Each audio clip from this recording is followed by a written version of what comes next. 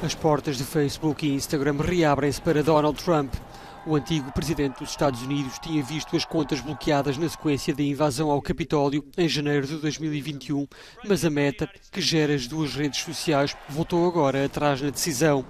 De acordo com o comunicado do gigante da tecnologia, a suspensão foi uma decisão extraordinária tomada em circunstâncias extraordinárias, mas o público deve poder ouvir o que os políticos dizem, o bom, o mau e o feio, para fazer escolhas informadas.